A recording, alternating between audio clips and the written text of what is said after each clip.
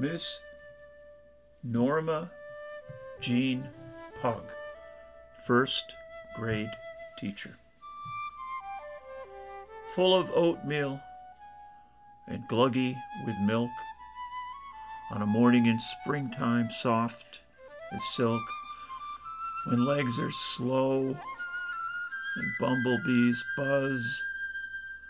And your nose tickles from dandelion fuzz, and you long to break a few cobwebs stuck with diamond dew, stretched right out in front of you, when all you want to do is feel until it's time for another meal or sit right down in the cool green grass and watch the caterpillars pass.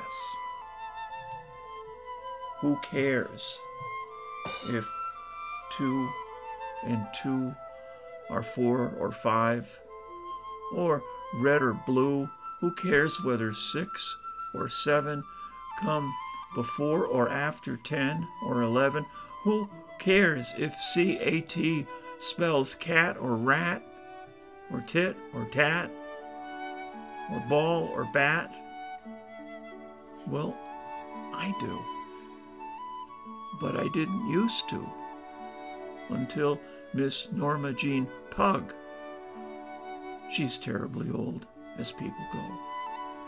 21 or 5 or 6 or so.